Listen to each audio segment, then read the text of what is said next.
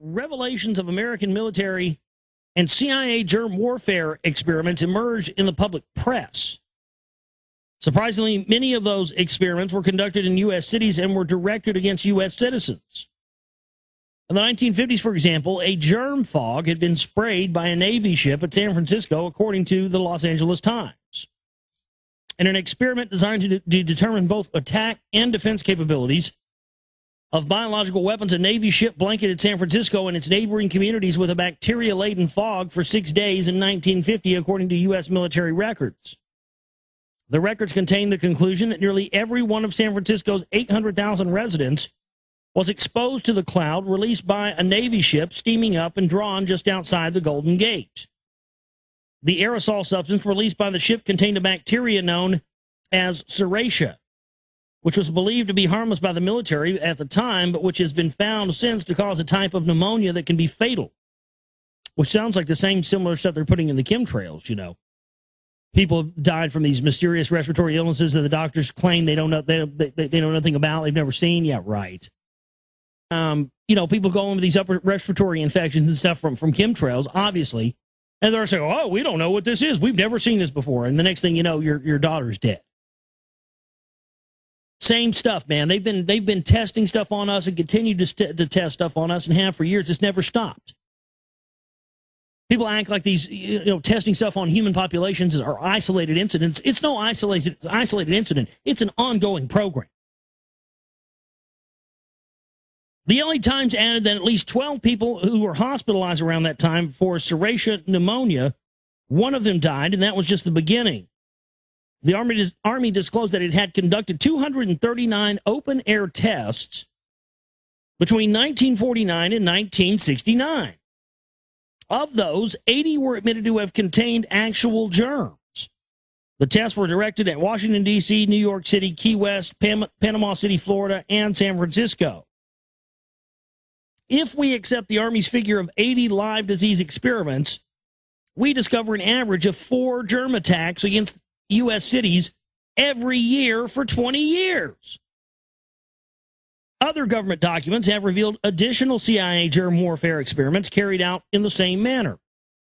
This means that every major U.S. city uh, and several major U.S. population areas were under fairly intensive germ bombardment for an admitted 20 year period, all by the nation's own military and intelligence organizations. These germ experiments reportedly ended in 1969. However, justifying suspicions have arisen about sudden outbreaks of more recent diseases, especially those which do not seem to conform to our understanding of epidemiology. First tonight, Spotlight can reveal the Dorset village, which has suffered a series of birth defects, was exposed to enormous quantities of chemicals in 1959. Families in East Lulworth are already demanding a public inquiry into germ warfare tests carried out in the 60s.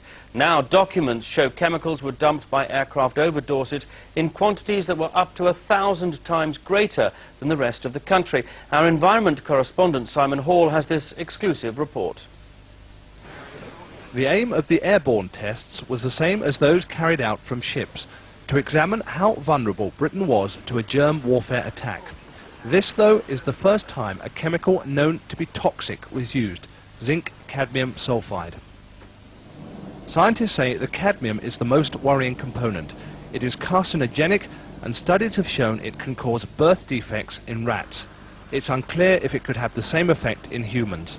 Its health effects include damage uh, to the lungs, uh, kidneys and uh, to the liver and uh, also uh, cancer of the lungs and uh, prostate have been found. The test was carried out in August 1959. A plane flew above the North Sea, then along the English Channel, spraying the chemical. Typical numbers of particles detected were 0, 1, 8, 12, and a maximum of 38. But when the plane reached the end of its track, something happened. That resulted in Dorchester sampling 4,315 particles. There was no sample point at East Lulworth, but it lies directly in the chemical's path. The experimental reports give no indication as to why such high levels were recorded at Dorchester, but scientists I've spoken to believe one of two things happened. Either something went wrong and a large amount of the chemical was released accidentally, or, being the end of the experiment, the remaining chemical was deliberately discarded. The virus would immunize against this VMAT2 gene, and that would, would have the effect that you see here, which is it's essentially to turn a fanatic into a, a, a normal person. And we think that will have major effects in the Middle East. How would you suggest that this is going to be dispersed? The aerosol? Well, so, so the, the present uh, plan and the tests that we've done so far um, have used uh, uh, respiratory viruses, uh, such as flu or, or uh, rhinoviruses, and uh, we believe that that's a satisfactory way to get the exposure of the largest uh, part of the population. Most of us, of course, have, ha- have been exposed to both of those viruses. And, and we're, we're quite confident that, that this will be a, a, a very successful uh, approach. This is fascinating. What's the name of this proposal? Yeah, so, so the name of this project is FunVax, which is the vaccine for religious fundamentalism. And you have a proposal already?